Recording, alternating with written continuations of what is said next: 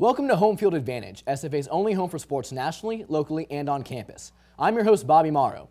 On this week's edition, we'll be covering the Rugby World Cup, SFA football, the Cowboys' personal issues. We'll have SFA's own Demi Payne in the studio, and we'll look further into ESPN here on campus. All that and then some coming your way on Home Field Advantage.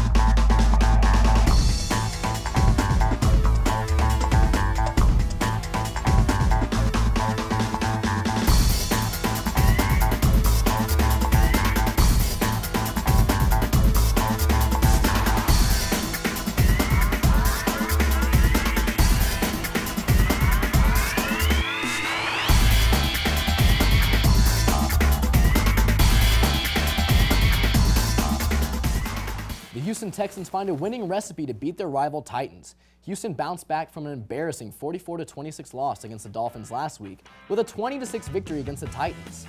Despite missing Arian Foster, who suffers from an injury with a torn Achilles, the Texans' DeAndre Hopkins and J.J. Watt both came out with a boom to put the Texans on top.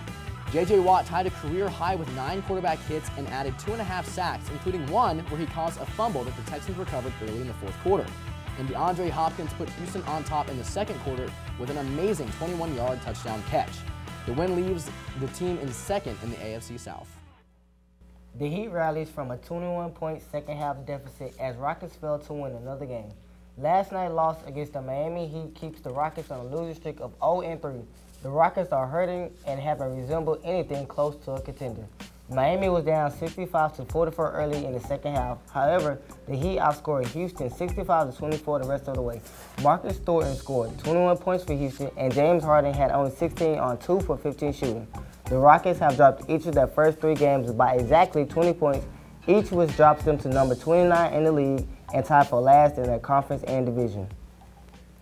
This weekend saw the final of the 2015 Rugby World Cup hosted by England.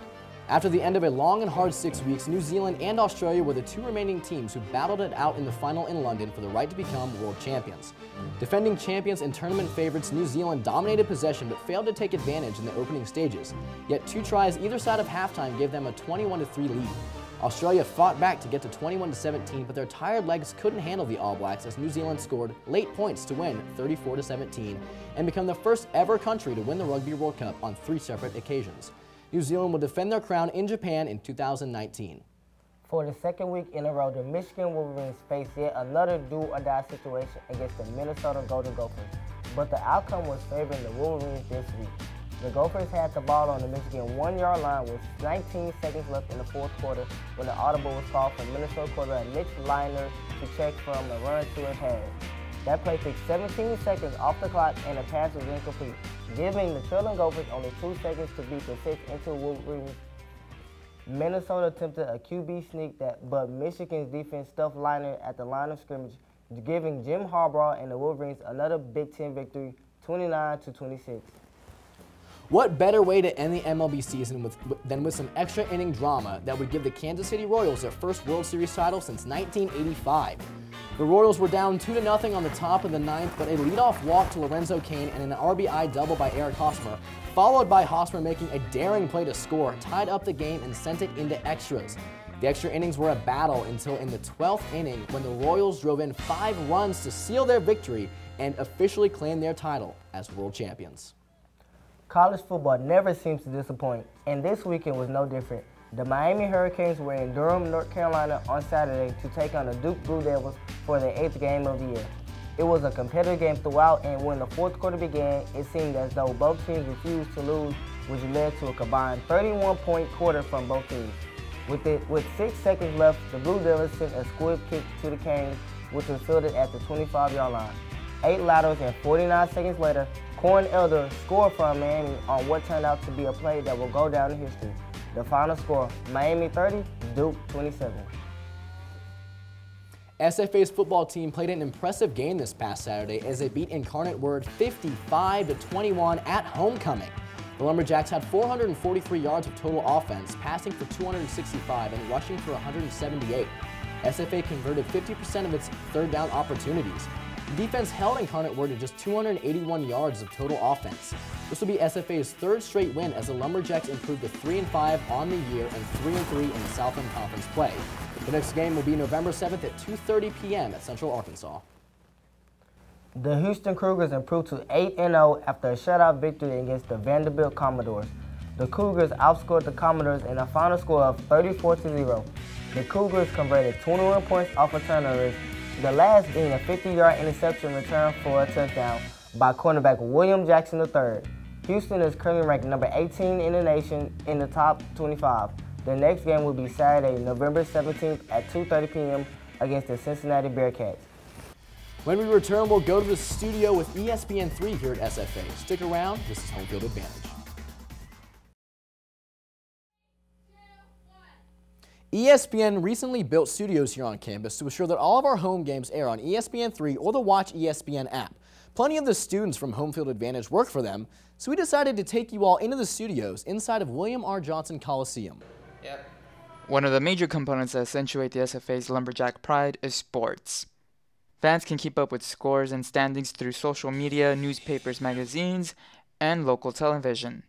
SFA is now the first institution in Southland Conference to produce ESPN3 telecasts for all home football, basketball, soccer, and volleyball games on a national level. ESPN3 is ESPN's live digital 24-hour multi-platform sports network, which delivers more than 4,300 global sports events annually. All thanks to Corbin Pate. And I began to pick up phones and, and dial and email and beat doors down until I could figure out how we could get a partnership. After the approval of the collaboration, a meeting with Department Chair of Mass Communications, Dr. John Hendricks, took place to plan on how students can be involved with production. Three feet, maybe. The number one thing out of all of this is student experience. And then he'll plug in the cameras, and so they'll pop up right here. And then you go and click the volleyball Lamar, and then open on control panel. And when you click that, this pops up. Dr. Hendricks explained that the collaboration between ESPN, the athletics department, and the mass communication department will provide students with real-world, practical experience at sports broadcasting. Students who take part of the production will have helped produce programming that will be aired on national television. It's more than that. You two stay here since for the most of the season you guys have been over there, so you guys can stay here. You need to sit by Audra and you need to learn uh, the replay. The technical director might be stationed at the Johnson Coliseum, but the home games can be broadcasted elsewhere. Nacogdoches tonight's action, Southland Conference Volleyball, Lamar Cardinals against host Stephen F. Austin Lady Jacks. Okay, great job, Greg. I'm going to cut that up and I'll be back in touch with you in just a second. Okay, sure deal. Stephen F. Austin is also one of only 50 schools uh, in Division One athletics to have this partnership in the entire country. And by the time Mass Comm students graduate, they will already have experience in working directly for ESPN. For Home Field Advantage, I'm Fili Galindo. Welcome back. My good friend and fellow athlete, NCAA record holder Demi Payne joins us today in the studio. So thank you for coming in the studio with us today. Yeah, definitely. Uh, so I have a couple of questions for you. Um, so what brought you to SFA, this small Nacogdoches town? well, after I had my little girl Charlie, I just really wanted to be closer to home and Mm-hmm. be near my family. And actually, the coach at SFA, he's like a longtime family friend, so Uh-huh. it was like perfect. Cool, cool, cool. So Char- you mean you mentioned Charlie as your daughter? I know all about her, but but okay. So um, tell me how you juggled that, and also I heard that you are on the president's list for getting a 4.0. Uh, tell me how you juggled that as well as you know a daughter and a fiance, and you know just how do you do it? Just tell me how you do it. Oh my god. Um, yeah, it, it gets really difficult at times, but I think I just go with the flow, and whatever happens, happens. And if there's a problem, I attack it, and um, I just don't freak out. You know, if I freak out, that's when everything starts falling apart. So. Yeah, yeah, yeah, definitely. Um, so we're definitely on the same track team, and we both have the same coach. But I love Coach McCown. She loves Coach McCown. Everybody loves Coach McCown. Um, but anyway, so you obviously pole vault. So what is what's your PR and what what meet was it at? I, Um, my PR is 15, seven and a half, and I jumped that at New Mexico. it was indoor. right? Indoors, yeah. Yeah, yeah, yeah. So uh, what would, what would be your favorite track meet that you've ever been to? Probably New Mexico, because I jumped the highest there. But uh, being in Eugene and winning a national championship was just like amazing. Out like world, it was yeah. the coolest moment of my life. Definitely. Besides definitely. having Charlie. Oh well, yeah. But I mean, not having her because that was awful. But afterwards. you know what? Yeah, and we know what you mean. What you mean. Um, what about China? We you went to Beijing. What? How Yeah. was how was that experience? I know Uh, you didn't do as well as you wanted to, but um, like overall, you were in freaking China. Like how? Yeah. how Um. I mean, it was a really good experience, like you said, and I didn't do as well as I wanted to, but I mean, I was surrounded by such amazing athletes, Mm-hmm. and I think seeing those athletes on that level really made me realize that I need to be working a little harder, and next Mm-hmm. time around, I'm going to be ready, and I'm going to make sure that I do well. So okay, so next time around, so does that mean Olympics? Is that what you're? oh, yeah. Is that who you're shooting for the Olympics? Yeah. Heck yeah, dude. That's awesome.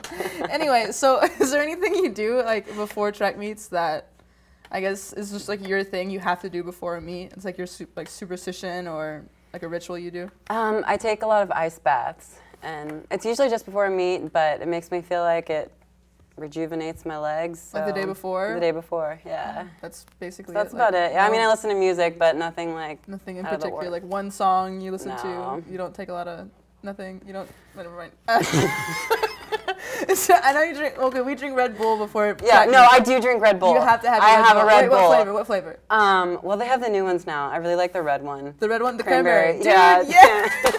yeah. okay, the cranberry one's perfect because it's what. we- Yeah, anyway, no, everything awesome. with it, Whatever. Okay, so, um, uh, I guess what else? I don't.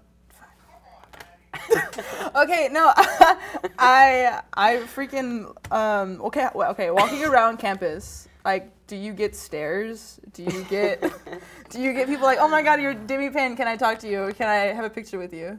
I mean, I do, and it's really weird because I'm like, I guess I wasn't expecting that when I came back, and Mm-hmm. then I mean, I get people who ask like take pictures with me, and I'm like, yeah, but um, it's it's crazy, it really is, but it's awesome at the same time. Oh, and, definitely, definitely. I mean, I want to soak it up while I've got it because I Mm-hmm. know, you know, it's not always going to be there. Yeah.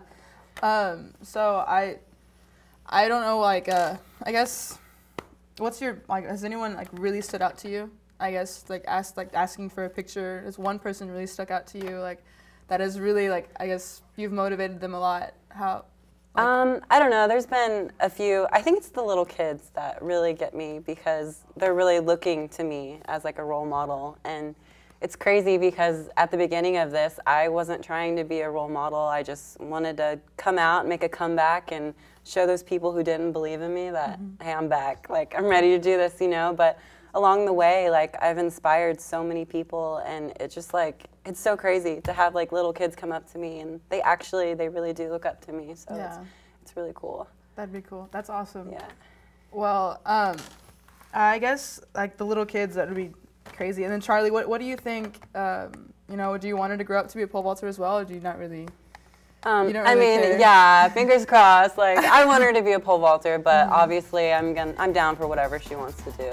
So, Mm-hmm. yeah. Okay. Well, um, well, that's all the time we have for today. Thanks again for joining us. Uh, coming up, we'll have a group discussion about what's happened this week in sports and what's coming up. Stay tuned. Welcome back to Home Field Advantage. It's that time again for the debate. Yes, I am joined by Nathan here and Daryl. And uh, Nathan, this is your second time in the debate now. They must like you or something.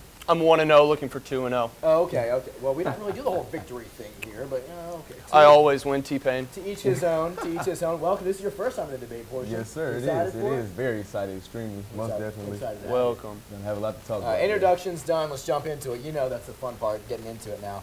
What happened last night? The World Series. Oh, the Kansas glorious. City Royals won it all last night. Didn't- In dramatic fashion. Didn't see it coming. Honestly, You going didn't see it honestly coming. going in, I thought, no way the Mets are gonna lose this. I saw the Royals lose it last year. I thought, you know, I'm a big repetitive guy, so I thought the Royals were gonna lose again this year. I thought the Mets had the best lineup. I thought the Mets had the best bullpen, and man, they didn't execute. Didn't execute. I was disappointed. I'm not gonna lie to you. It was, it was just a it was a last minute thing for, for the for the Royals. They they came in at the last minute. They worked their butts off, and it's been years since they've been back to the championship since uh, 1985, if I'm not mistaken. That's the last time they won it. They Was were the there last- last year. Was the last time they won the championship? Last time they and, won was and 1980. Yeah, they they came back uh, from a was it two two to zero, and they came back in the 12th inning and just dominated. Yeah, absolutely. I'm proud Most of the guys. It was good baseball. It was. doubt. it was. It was. It wasn't boring baseball. It was entertaining to watch. Especially, I mean, you didn't think. I mean, in the ninth inning, top of the ninth inning, I'm like, okay, Mets have it. Mets have it. They're up. They're up two nothing. Ninth inning, they're at home. Mets have it. We're going to game six. What happens? Leadoff walk. Base stolen by Lorenzo Cain. Then a double by Hosmer. And then Hosmer makes the amazing play. Honestly, I, at the time, I thought uh, Hosmer was stupid, and I, thought- I thought he lost the game for him. But he he just he, he, just, he went home on that one just little small hit, tied the game up, and that's what happens. you know? Honestly, isn't that how a World Series goes, though? I mean, taking it back to the Texas Rangers, yeah, the ninth inning blur, to this year's ninth inning, you know, game decision time, time for the Royals to win. It's just, it's how the World Series goes. At the perfect Right. stage, the perfect game, the perfect ending. Right. Well, I'm happy. I, personally, personally, I didn't want I didn't want Kansas City to win. I'll, I'll, I'll be out there and say it. I didn't want them to win, uh, but they did, and respect to them. They won. They are world champions. Most definitely. respect. Congratulations to Kansas City. Yeah. Congrats, we'll move on congrats. now to uh, something a little closer to home. We had homecoming this past weekend, Oh, yes. which was fantastic. The festivities and everything were great. But let's get down to the business. The football game. Oh yeah. We got to win. Yes. Oh yeah. We won. Another one. Another win. That's three in a Another row. one. That's on Another the street. one. They're on three it. They're a on row. it. They're Thank on you, it. Incarnate Word. Yeah, thank you very much. You know, I had to say it. I, I called it last week. Right. You I called it last week. Call I called. I said. right. I said. I You said if Zach Conque and the Lumberjacks can hold on to the ball, which I'm not going to say they did. There were a few turnovers, but for the most part, they held on to the ball, and they won. And I told. I said their defense needs to stop the running back for uh, June bugs, what they call him. at Incarnate Word. June bug. They had to stop June bug, and they did. Incarnate Word had 281 total yards. Passing Yeah. and rushing. Yeah. But Wow. Zach Zach threw for 256 yards By Yeah. himself? by himself. Zach Conque almost had more yards than an Incarnate Word total. Four touchdowns. You know, so it doesn't get any better than that. And, So and someone asked me last week who did I think was gonna win. They're like, "Is is they gonna win today or uh, on Saturday?" And I was like, "Most definitely they're gonna win. It's homecoming. They shouldn't lose. They're playing Incarnate Word. Even though Incarnate Word was a pretty good team, SFA also came out with They a still win. a good a team. big win. Oh yeah, always. think- Still Do you think Zach Conque uh, proved his critics wrong? You think he's got the starting spot back? Not yet. Not yet. That's one game. One, yeah. That's one game. That's, that's, that's one game, but you know, Zach has been a starting quarterback since last year. You know, one, everybody makes mistakes. Michael Jordan made mistakes, you know. But, you know, Zach Conque Fast has, comparison. yeah. You, hey, most Zach definitely, Conk, you know, Jordan, but I see it. everyone, everyone makes mistakes, you know. So therefore, I feel like Zach Conque has proved himself that he can be the starting quarterback once again. Yeah, I'm not. I'm not saying. I mean, I'm not saying that he shouldn't be starter. Absolutely not. Fantastic player. That's one game, but I think I think he's got it. Though. Let's be honest. Yeah. Still, still sticking with college football here. How about that Miami Duke ending? Oh wow, Oh wow. my goodness, if I was the head coach of Duke, I'd be pulling my hair out still. Yeah, I, I think. I, Yeah, if, I mean Miami had, they they deserve their win. They deserve their win. They they went full out with some back backyard old school backyard football, and they came out with the win with 49 seconds. 49 seconds. 40, it was a 49 second play. 49 but they kicked play. it off at six second mark. Right, right. It's, fun, game. it's funny you said that they're they're like a, a school, like a scrappy schoolyard team, because the coach there was an interview after the game. He was saying, yeah, literally this week in, in practice, we were talking about how we were that kind of team. We were the kind of team that we didn't, you know, we want to go out there and have fun, be scrappy, kind of like a schoolyard team. The best, the, the thing I like about this game is first of all, amazing finish. College football's exciting. Second of all, this was Miami's uh, Miami's coach. This was his first game. He's an intern coach. This was his first game, and he won in that fashion. They practiced the laterals. And it's, it's They a- practiced the laterals, and they actually got to use them. got What? Duke's. Duke's defense actually prepared for this. Mhm. Duke, uh, Duke's uh, Duke's special team coach did a great job of preparing them for Miami because they knew that they were playing Miami, which they're going to pull out all the stops to get the W. Poor execution, no tackling. Uh, it was unbelievable. Honestly, me, I don't think Miami should have got the win. Everybody Really? saw laundry on the field. Yeah, yeah, yellow laundry. The back calls, the, the knee touching the ground. Are you kidding me? No, Miami no, won? They, The they block used the eight back. laterals to score that touchdown. The block in the back, though, they reviewed it for nine minutes. Nine after, minutes. after the touchdown was scored. Nine minute review, and they still said it was a touchdown. And they also Yeah, said how, that how needs do to- you how do you go against that when they I've reviewed it for that long? I've seen balls bounce off the turf, and they call them and they call them catches. Uh, but were those reviewed for nine minutes? booth reviews or you know, whatever the refs are feeling that day. That's true. For That's true. something to be reviewed for nine minutes and still was no penalty in there, it, it shouldn't have been called for. They should have just let it alone.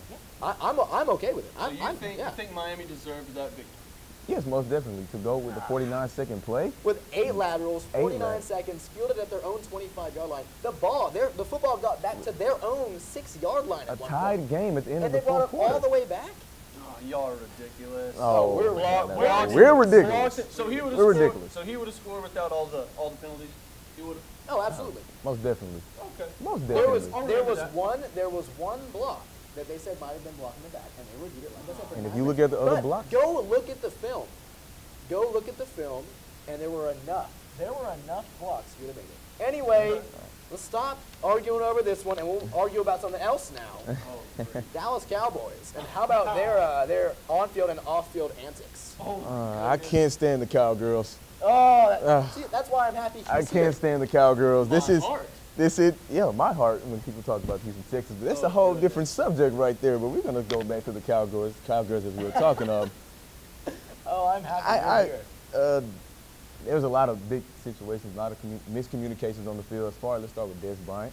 You know, he they claimed that he would it was his changing a few words that wasn't very you know good Oh, for yeah. football in the purposes. locker room? un- in the locker In the room Dallas- and on the in field. the Dallas Cowboys locker room, In the where Dallas- the football players are supposed to be, the head coaches, where they change.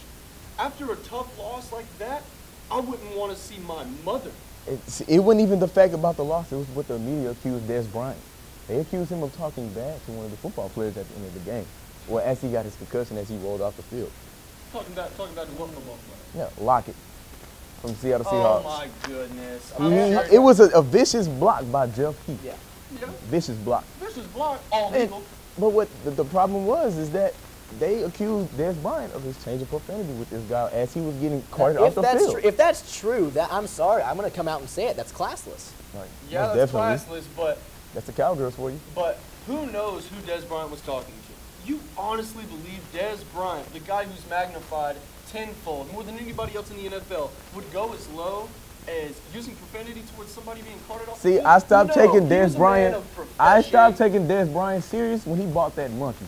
Oh, That's when I stopped taking Dez Bryant serious. After he brought the monkey and named it Dallas. We're bringing Dallas, Dallas? Bryant into this. Dallas Bryant, a monkey? What about Greg Ah. Hardy though? You can't forget about the man, the Greg monster. Hardy. Ah, Greg see, Hardy. That's that's Oh that's a whole different goodness, story. what are you saying That is about that? that is a whole That's different a whole story. different It's story. a whole different story. But I mean, I'm not a Cowboy fan, but I I I, I enjoy seeing my city do well. You which is res- the you respect do. it. You yeah, respect I respect team. that. And Greg Hardy showing a coach like what you said, it's classless. It shouldn't be done. It doesn't matter if you're Tom Brady and the Patriots. You should not be pushing the coach, especially when you're brand new on the scene in Dallas. And for, and for his past, let's be honest. Yeah, guys. Everybody, everybody, that happened, and they say, "Oh, that happened," but you know, say that was somebody else. Say that was J.J. Watt that pushed the coach. Oh, he's just, he's just in the moment. He's just in the game. He's ready to, you know, he wants to get in there. But then it's Greg Hardy, Yeah. and you look at his past, and you say, "Oh, no, no, no, he's violent. You know, he's angry. He's violent. He, wa- he wants to hurt someone." It's like seeing the Ndamukong Suh step on somebody for what the ninth time. Yeah. It's just that's Suh. He's a dirty guy, and honestly, me being on the dirtbag kind of subject, I do miss old school football. And when it's time, When you can hit someone. when there's the right timing, I think football lacks the dirtbag um, football Mm-hmm. players, and I think that there needs to be more than Ndamukong Suhs, guys that should be feared. On Go the back, go back to the old Raiders, right? Is that what you're Oh, saying? oh. Yeah, those guys were Old Raiders. They were Old the Raiders. before they stepped on the field. Well, let's go on to that other football team in Texas, the Houston Texans, real quick. Oh, yeah. And how the how their yeah. record, where they are, and they're still in contention for the division.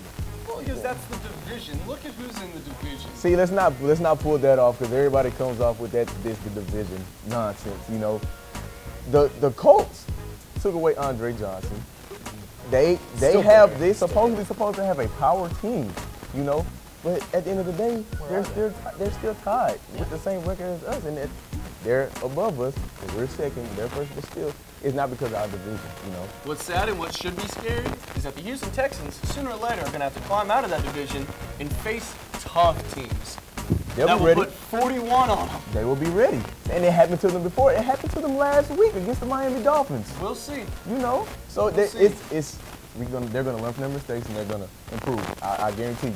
I guarantee you. Just a young franchise. It's just a young All right. franchise. We'll see. Well, well, that's you know, we'll, like you said, we'll see. Yes. We'll see what happens for the rest of the season. How about that? All right. Yeah, most All definitely. right.